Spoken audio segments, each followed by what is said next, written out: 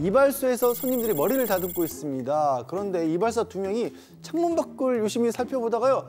화들짝 놀라 밖으로 뛰어나갑니다. 남겨진 손님들 대체 무슨 일이 벌어진 건지 어리둥절한 모습인데요. 아니 깎다 나가면 어떡해? 그러게요. 이발사들의 손님까지 내팽개치고 뛰어나갔던 이유 바로 어린 여자아이 때문이었습니다.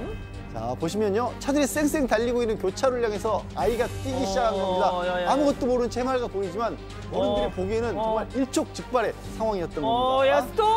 예, 다행히도 정말 간발의 차로 이발사들이 아이를 낚아챘습니다. 잡았다. 예, 조심스럽게 안고 보호자를 찾아보는데요. 근처 버스 정류장에서 아이 엄마를 찾았습니다. 잠깐 한눈을 파는데 엄마 곁을 벗어났던 겁니다. 아이 생명을 구해준 영웅들에게 진심으로 감사했다고 합니다. 아유.